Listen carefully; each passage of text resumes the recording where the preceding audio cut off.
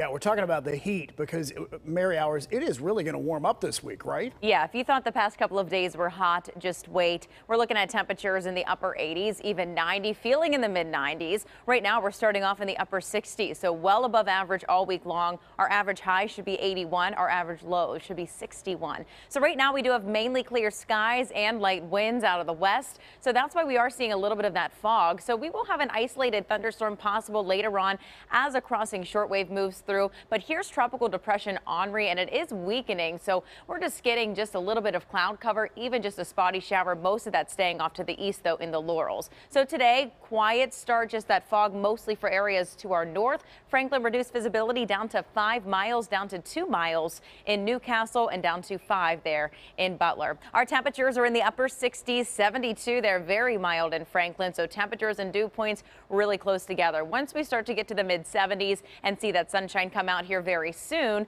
then we're going to see that fog lifting out. But as for today, high temperatures, upper 80s. Yesterday, we even had some spots at about 88 degrees. So it's going to feel in the 90s. And then we have another clear night and mild night ahead with some patchy fog tomorrow morning at the bus stop. So it's going to feel into the mid to even upper 90s for some areas, the hottest time of the day between about 4 and 6 o'clock. So just make sure that you're finding ways to stay cool and stay hydrated. And remember, if it's too hot for you, it's too hot for your pets. So an isolated storm around through the afternoon. Same chance tomorrow, but a lot of that uh, heat, that warm air aloft, it's going to kind of keep a lid on that convection. So an isolated storm is possible. Quick downpour. A lot of that looks to stay off to the east and along the ridges. So we just have that chance there pretty much through each day. The best chance of rain returns for the end of the week. 88 for our high with isolated storms around, mostly sunny and mainly clear tonight, upper 60s with some patchy fog.